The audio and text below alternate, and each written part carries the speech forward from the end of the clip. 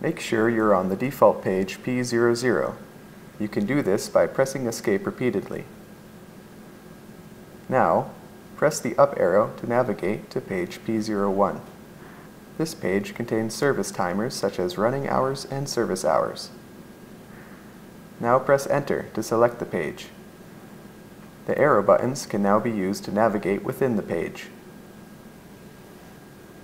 Load Offload represents the running hours, or the total time spent loading and offloading.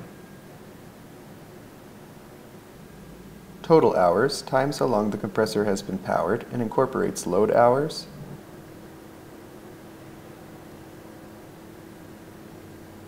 offload hours, and stopped hours.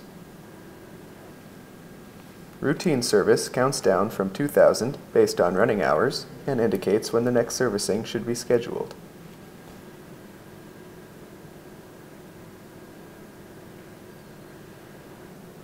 Similarly, grease service hours will also count down based on running hours.